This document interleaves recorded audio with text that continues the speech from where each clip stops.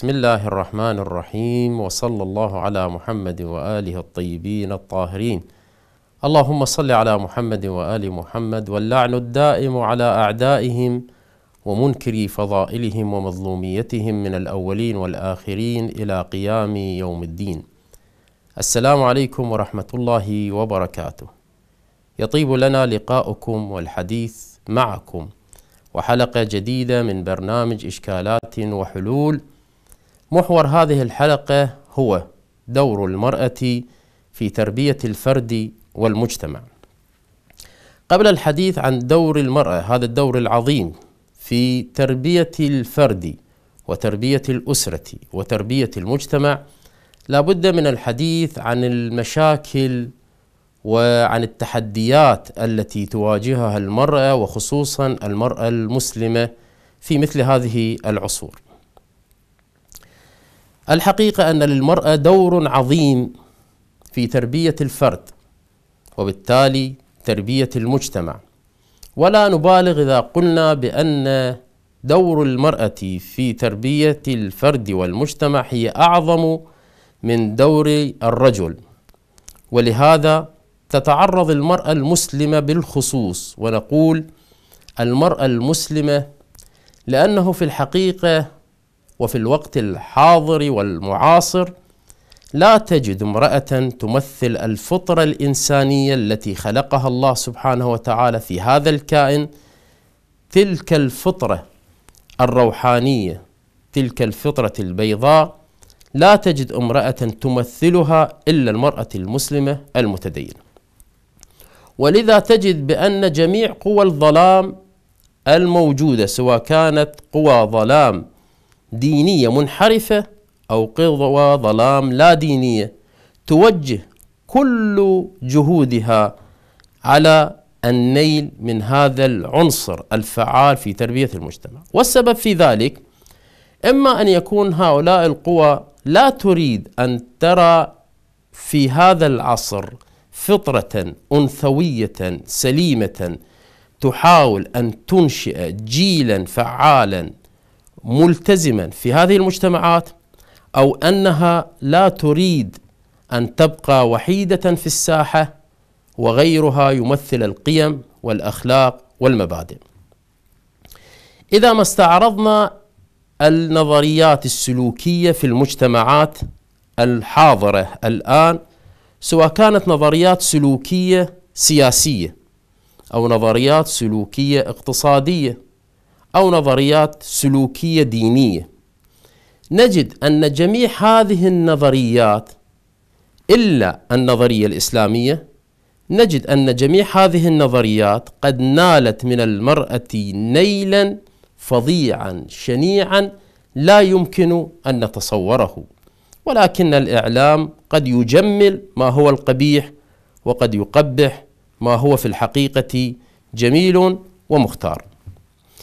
مثلا إذا وجدنا أن النظرية السلوكية الاقتصادية الحالية الموجودة في المجتمعات فإننا نرى النظرية الاشتراكية الاقتصادية الاشتراكية والنظرية الاقتصادية الرأسمالية بالإضافة إلى النظرية الاقتصادية الإسلامية.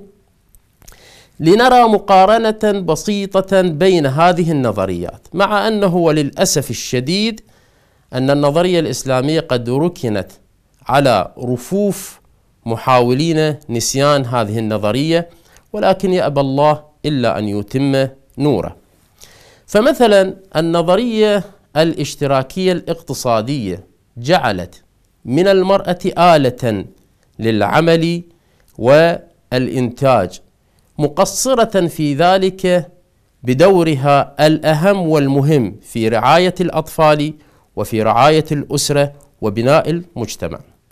أما النظرية الرأسمالية فجعلت من المرأة بضاعة تسوقها حيث وجدت ربحا وحيث وجدت مالا.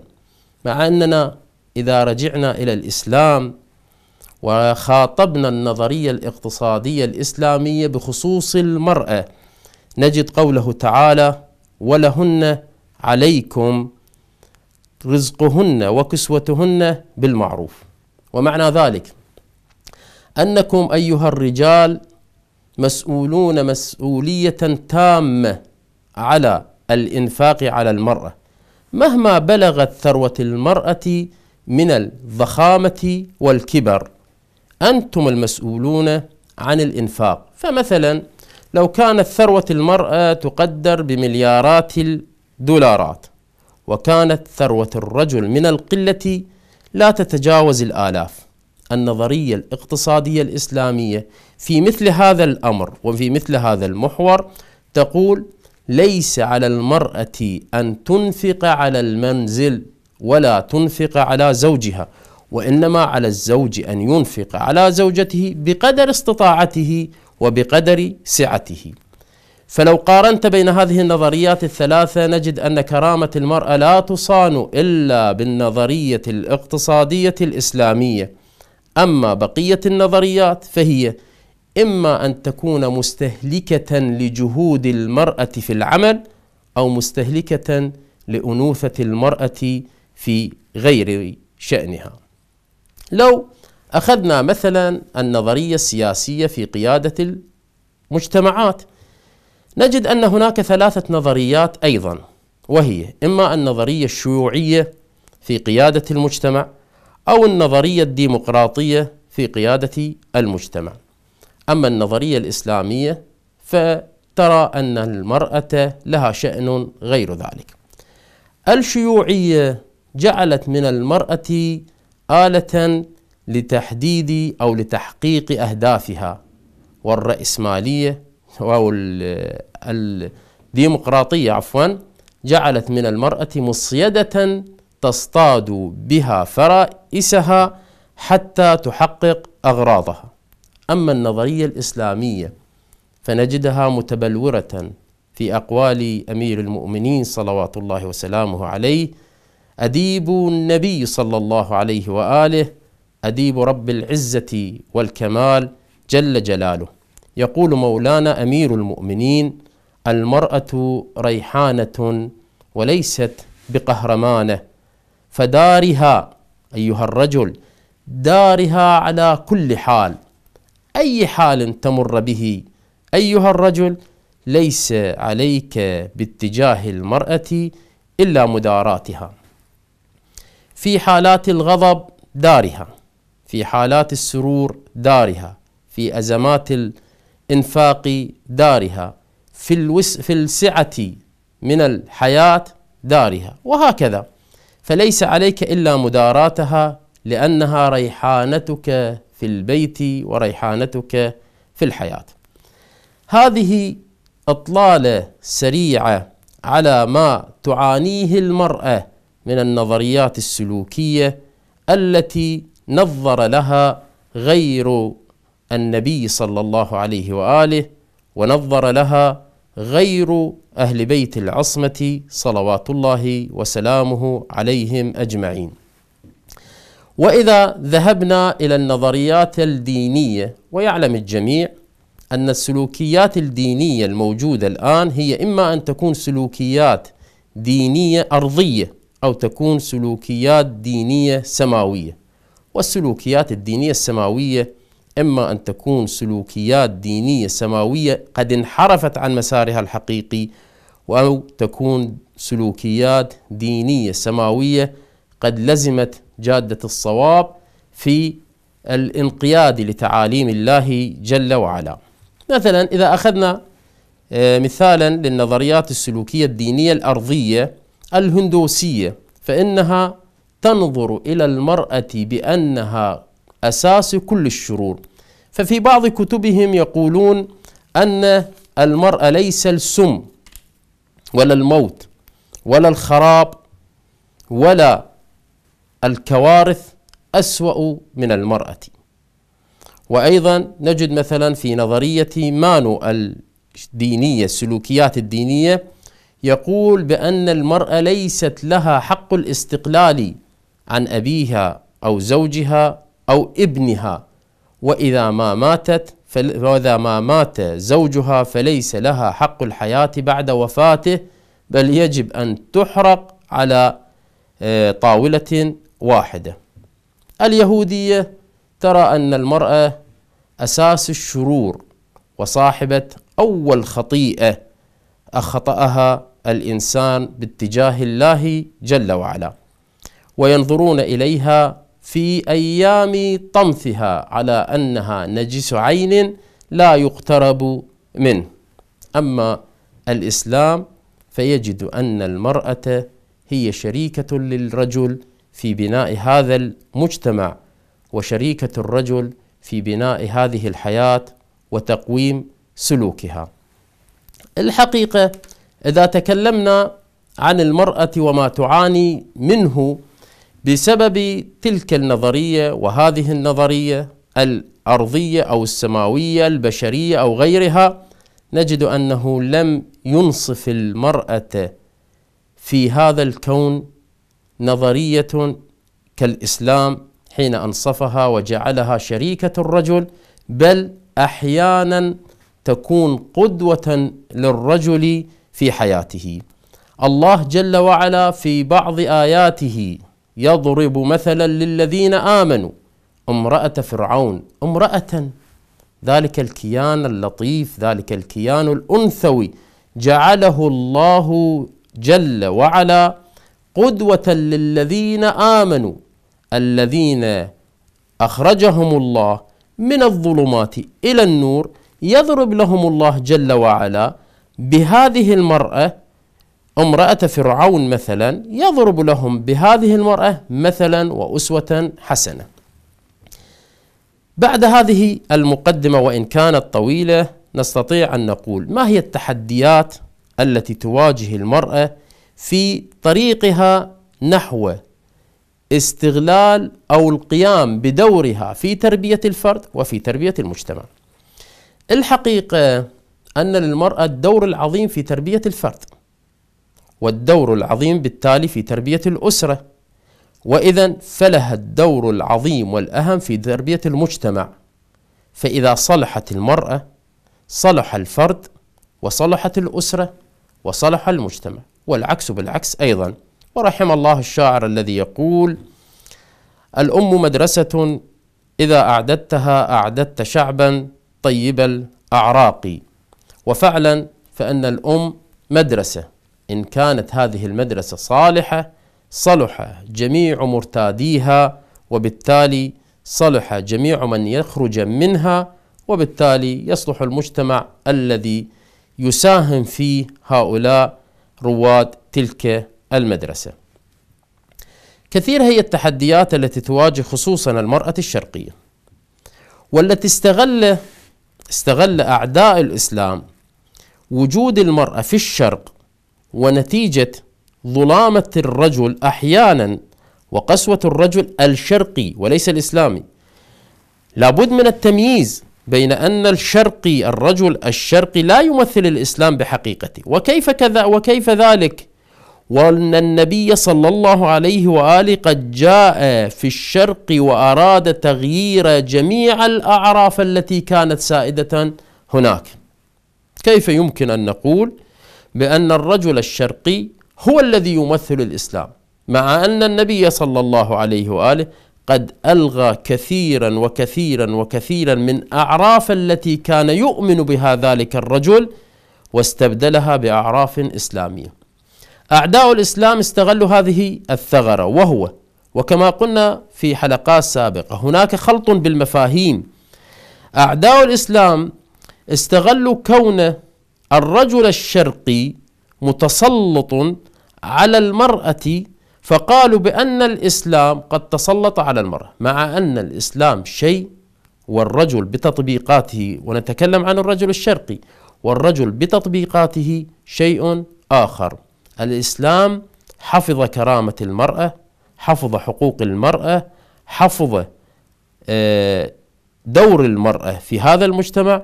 جاء الرجل الشرقي ألغى دورها تجاوز عن حقوقها اضطهدها ولا نقول بأن ذلك عند كل الرجال الشرقيين بل كما يقول أهل المنطق إنها على نحو القضية المهملة أي أن الغالب هو ذلك.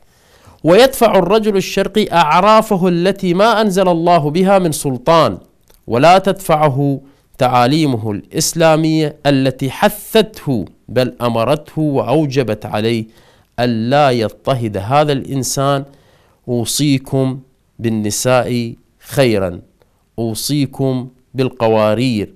كثيرة هي الروايات التي رويت عن الأئمة صلوات الله وسلامه عليهم وعن النبي صلى الله عليه وآله. تحث الإنسان تحث الرجل على أن يكون كثير المداراة للمرأة حتى تكون هذه المرأة العنصر الفعال في تقويم الأسرة وبالتالي في نهضة المجتمع. من أهم ما تواجهه المرأة في هذا العصر أهم ما تواجه المرأة في هذا العصر هو عدم السماح لها بأخذ دورها الحقيقي في الأسرة. كيف ذلك؟ دور المرأة الحقيقي في الأسرة هي المنظم هي المربي هي الموجه لأفراد هذه الأسرة. قد يسأل سائل ويقول وما دور الرجل في ذلك؟ نقول الرجل الأب ولي الدار دوره كأنما كأنما إن صح تعبير هذه الجملة كأنما هو السلطة التنفيذية والاستشارية للمرأة. السلطة التنفيذية والاستشارية للمرأة. لا ينزعج الرجل عندما نقول له ذلك.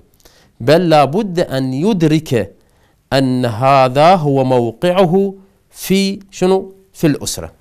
سبب ذلك أيها الرجل أيتها المرأة إن أحدكم يقضي ساعات عمره الأكثر في الدار والآخر يقضي ساعات عمره الأكثر في خارج الدار. وبالتالي وشيء طبيعي جدا أن يكون من قضى أكثر ساعاته في البيت في المنزل أن يكون أكثر اطلاعا على متطلبات المنزل وأكثر اطلاعا على مشكلاته وأكثر اطلاعا على تصرفات أفراد ذلك المنزل. وبالتالي فهو المرآة الناقلة لهذه التصرفات والمرآة المعبرة عن هذه التصرفات تنقلها لمن؟ تنقلها إلى السلطة التنفيذية والسلطة الاستشارية وعند ذلك يصل الاثنان إلى نتيجة مهمة وهي تقويم أفراد هذه الأسرة للوصول بهم إلى بر الأمان للوصول بهم إلى خطوات الكمال نحو رقي شخصيتهم وتكامل شخصيتهم حتى يكونوا عناصر فعالة يعودون بالخير على ذويهم من الأب والأم وغيرهم وعلى أنفسهم وعلى المجتمع وبالتالي يصلح حتى الكون إن صلحت هذه هاتان السلطتان.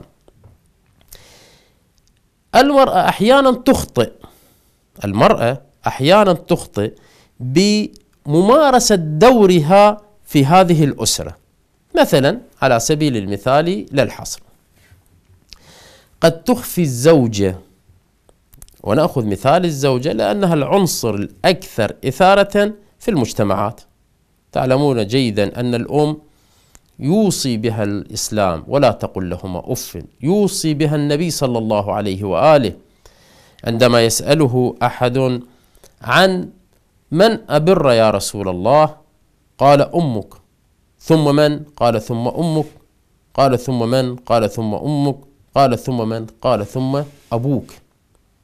بعد الثلاثة مراتب للأم تأتي مرتبة الأب. وأن المرأة هي عبارة عن أم زوجة أخت وبنت. لا غير ذلك.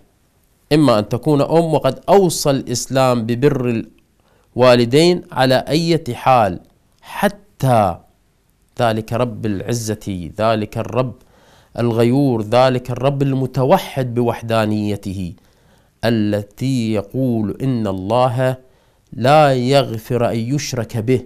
لكن عندما يأتي إلى الأبوين يقول وإن جاهداك على أن تشرك بما ليس لك به علم فلا تطعهما ولا وقل لهما قولا معروفا ثم يأمره بأن لا تقل لهما أف على ما فيهما من والعياذ بالله من الانحراف للشرك أو غيره. وعندما يأتي إلى البنت يقول من كانت له بنتان أحسن تربيتهما كانت له سترا من النار. لذلك نحن نضرب مثلا بالمرأة بالزوجة. التي تكون غالبا ما تكون العنصر المشترك بمن؟ العنصر المشترك بين الفئات الثلاث. الأخت لابد أن تكون زوجة في يوم من الأيام أو في جهة من الجهات. الأم هي زوجة. البنت بالتالي ستكون زوجة والزوجة هي زوجة. وبالتالي العنصر المشترك بين فئات المرأة الثلاث هي أن تكون زوجة. لذلك نحن نتكلم عن الزوجة باعتبارها العامل أو العنصر المشترك بين فئات النساء الثلاثة. المرأة قد تخطئ بهذا الأمر أنها تحاول أن تصحح شيئا فتخطئ في تصحيحاته يعني نحاول أن نضرب مثالا بسيطا في ذلك. الأسرة عبارة عن أب وقلنا بأنه هو السلطة التنفيذية والاستشارية لمن للسلطة التربوية الموجودة وهي الأم. وقلنا بأن الأم هي السلطة التربوية باعتبار أن أكثر أوقاتها تقضيها في المنزل مع الأولاد. أما الأب فأكثر أوقاته يكون في خارج المنزل إما للعمل أو لقضاء العلاقات الاجتماعية وغير ذلك. هذه الزوجة لابد أن تكون العين الرقابية الأمينة على الأولاد باتجاه الأب. لا نقول أنها تنقل كل صغيرة وكبيرة إلى الأب. لا من طبيعة الأم أن تخاف على أولادها. فتبدأ بنصحهم إذا ما ارتكبوا خطأ أو حاولوا أن يسيروا في طريق خطأ. لكن الاستمرار بإخفاء ما يفعله الأبناء على السلطة التنفيذية يجعل منهم قد أمنوا العقاب. وكما يقال من أمن العقاب أساء الأدب. خطأ الزوجة التي هي المرأة خطأ الزوجة بألف خطأ لأنها إن أخطأت في تصرف وفي استغلال سلطتها الملقاة على عاتقها ودورها في تربية الفرد والمجتمع يؤدي ذلك إلى فساد الفرد وبالتالي سيكون مردوده سلبي سيكون مردوده سلبيا على من؟ على الأب وعلى الأم وعلى المجتمع وعلى الأسرة وعلى غير ذلك فهي من باب النصيحة نقولها أن الأم الأم الزوجة أن الزوجة لابد أن تكون أمينة في نقل ما يحصل من الأولاد إلى أبيهم لكن بعد أن تستشيره وبعد أن آه، توضح له أن ما يحصل ليس من ليس وقد بلغ مبلغ الظاهرة في المنزل وإنما هو تصرف فردي تصرف أحادي لأول مرة قد حصل وقد ونحن نجتمع حتى لا يتكرر مثل هذا الحدث. هذا الأمر وهو كون الأم العين الأمينة على الأولاد لابد أن تتنبه له الزوجة لابد أن تتنبه له المرأة. هذا الدور جدا خطير. هذا الدور جدا خطير.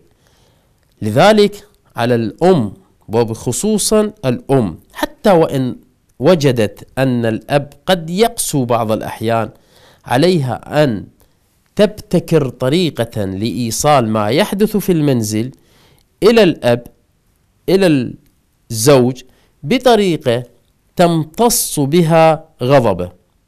حقيقة تمتلكني أحيانا الحيرة عندما أرى أن الزوجة والزوج يمضيان سنين من أعمارهم ولا يفهم أحدهما الآخر.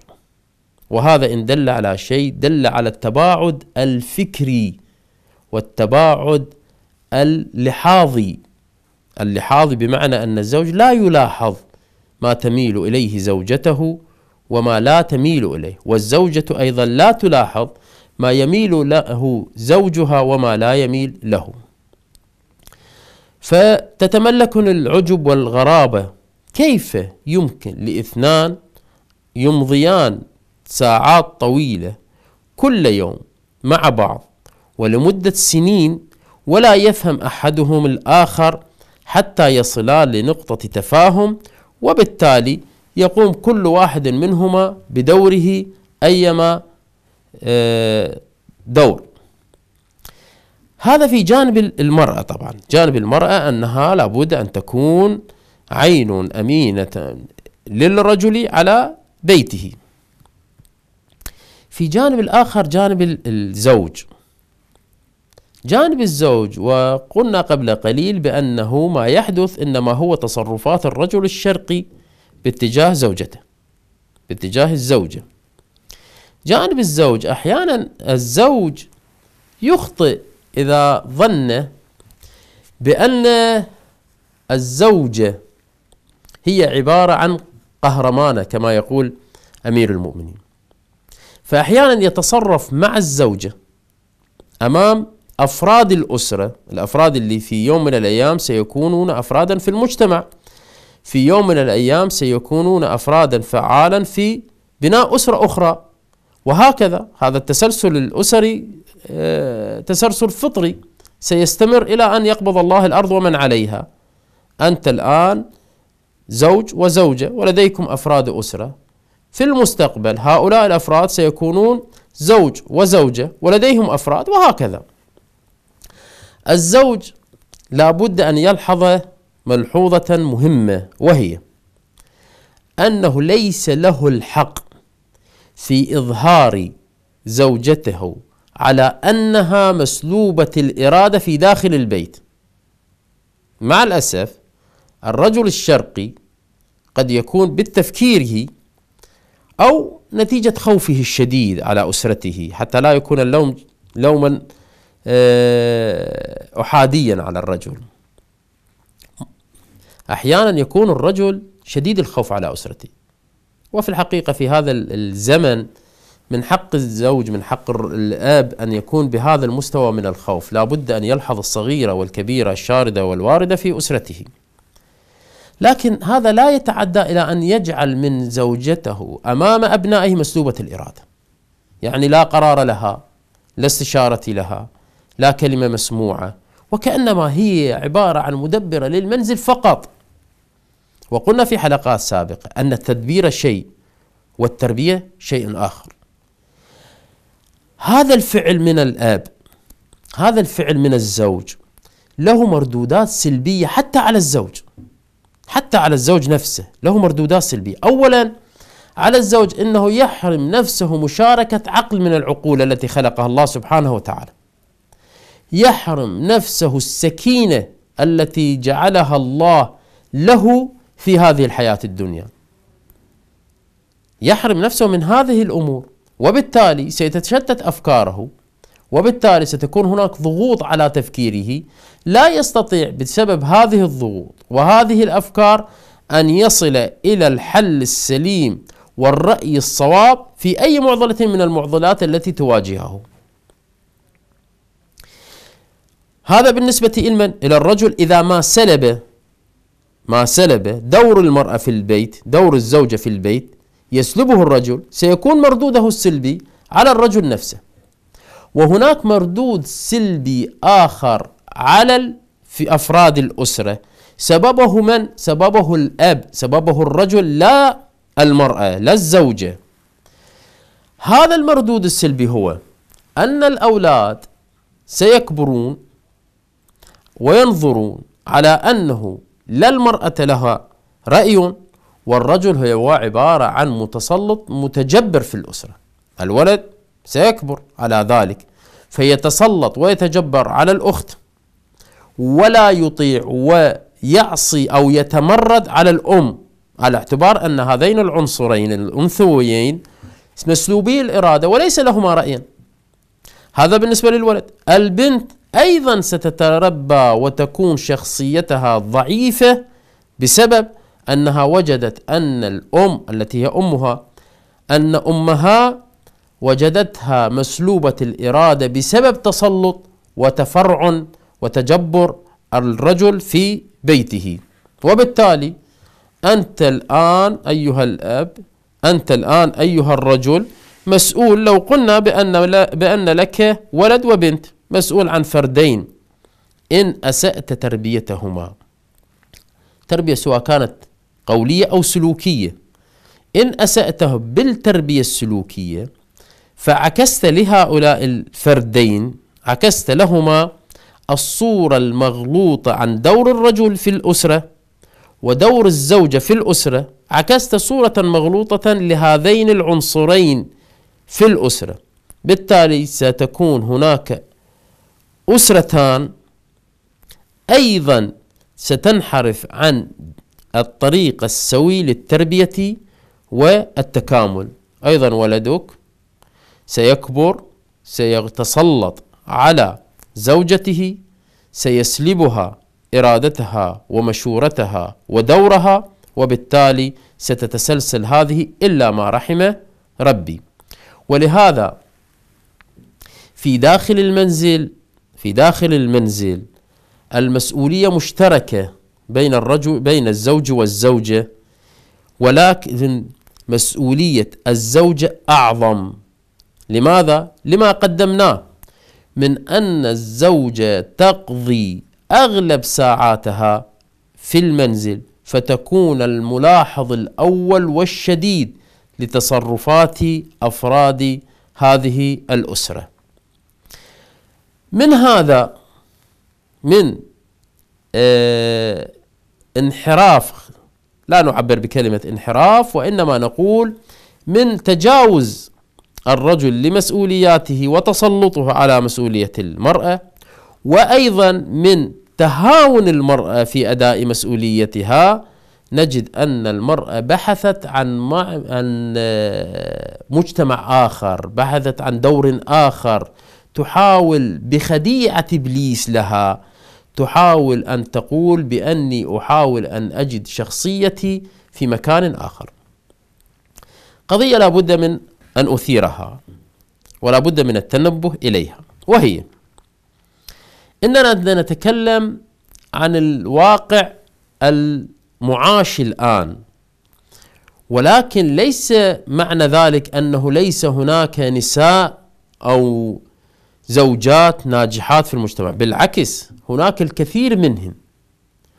ودليلنا على ذلك أننا نعيش أيام فتن وأيام حرب فكرية شعواء بين الفطرة الإلهية وبين الإغواء الشيطاني.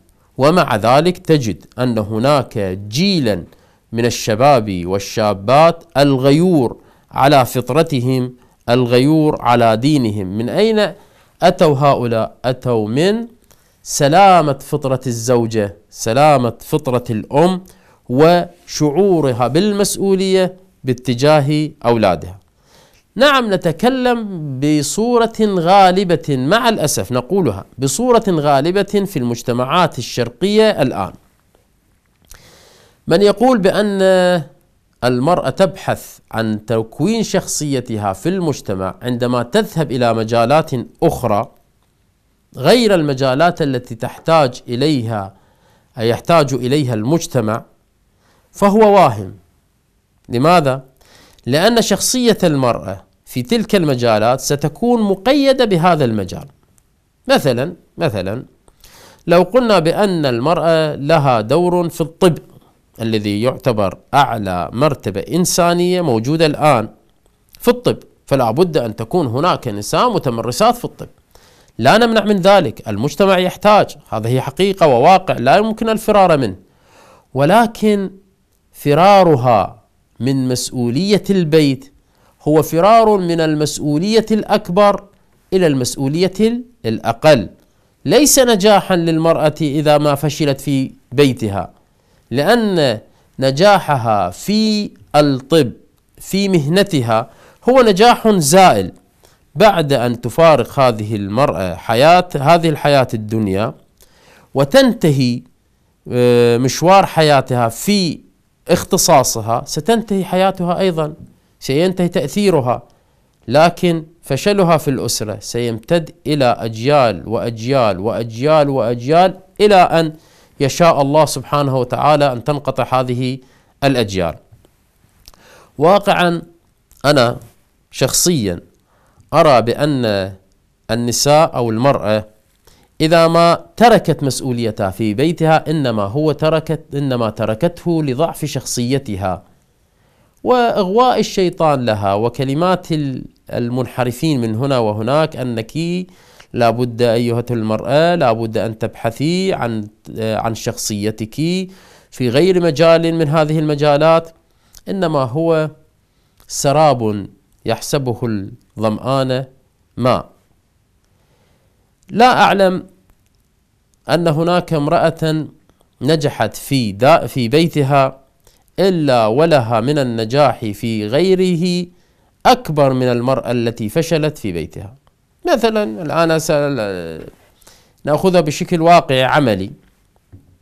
إذا كانت المرأة فاشلة في بيتها وهي تريد أن تكون شخصيتها في خارج البيت في مهنتها في اختصاصها كثرة الفشل في البيت كثرة المشاكل في البيت لن يسمح للمرأة أن تكون مبدعة في اختصاصها. الإنسان مهما كان طاقة محددة في الفكر طاقة محددة في العضل وفي الجسم يحتاج إلى الراحة ويحتاج إلى الهدوء والسكينة. إذا ما فقد الراحة والهدوء والسكينة سيفقد التركيز حتما في اختصاصه. ولن يكون مبدعا بل لن يكون ذا أثر مطلقا في مجال حياته. لا نتكلم عن أفراد فقط. يعني قد يكون يسأل سائل يقول أن هناك من الشخصيات النسائية من أثبتت نفسها في مجالات اختصاصها. هذه نقولها بضرس قاطع. إما أن تكون قد نجحت في تربية وتنشئة دارها فجعلت من بيتها بيتا آه، يعمه الهدوء والسكينة والتفاهم. أو أصلا لا يوجد لها سكن تسكن إليه سكن قصدي أسرة تسكن إليها. وبالتالي صبت كل جهدها على اختصاصها. ولا يمنع ذلك من وجود نساء قد فازت بالقضيتين وهذا ما نريد أن نقوله أنه المرأة اولا إذا ما نجحت في تربية وفي تنشئة وفي تهيئة الأجواء الهادئة والساكنة في بيتها فإنها حتما ستكون مبدعة وذات تأثير في مجال اختصاصها.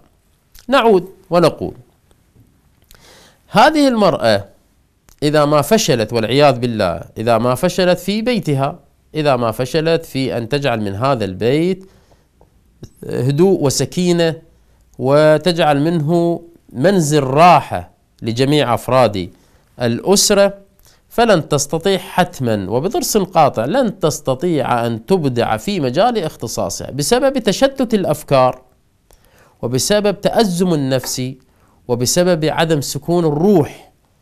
كيف يمكن لها أن تبدع في مجال يحتاج إلى العقل والروح والنفس؟ إذا كانت النفس مضطربة والروح لا هدوء لها والعقل فيه ما فيه من المنغصات كيف يمكن أن تكون آه، مبدعة في غير ذلك المجال؟ ولكنها إن أبدعت في أسرتها إن أبدعت في أسرتها فإنها حتما وحتما وحتما ستكون مبدعة في غير مجال أو في عفوا في مجال اختصاصها. هذا هو الواقع. مشكلة تواجه المرأة في حياتها. هذه المشكلة هي التي خلقتها وهي أن تحاول المرأة أن تستقل بشخصيتها عن الرجل. مع أنها تدرك في داخلها إنها لا يمكن أن تستغني عن الرجل بأي صورة من الصور. كما أن الرجل لا يمكن أن يستغني عن المرأة بأي صورة من الصور. إجمال ما نريد أن نريد أن نقوله هو أيتها المرأة المسلمة إنك الآن وفي العصر الحاضر تمثلين الفطرة الإلهية السليمة الوحيدة الموجودة على هذه الكرة الأرضية. وكل نساء العالم سواء كانت تنتمي لنظرية اقتصادية بشرية أو نظرية سياسية بشرية فانك لن تجد امرأة تمثل فطرة الله على هذه الأرض إلا أنت أيتها المرأة المسلمة المتدينة. ولهذا رعاك الله كوني على قدر المسؤولية وكوني على قدر ما أوصاك به الله جل وعلا ورسوله وأهل البيت عليهم السلام في الحفاظ على أسرتك وفي الحفاظ على أولادك وفي الحفاظ على زوجك وبالتالي في الحفاظ على نفسك. أسأل الله سبحانه وتعالى لك أيتها المرأة المسلمة ولنا نحن الرجال حسن الخاتمه والطمأنينة وأن لا يخرجنا الله سبحانه وتعالى من هذه الدنيا إلا ونحن ماضون على ما رسمه الله لنا في الصراط المستقيم. أقول قولي هذا وأسأل الله لي ولكم دوام التوفيق والحمد لله رب العالمين وصلى الله على محمد وآله الطيبين الطاهرين.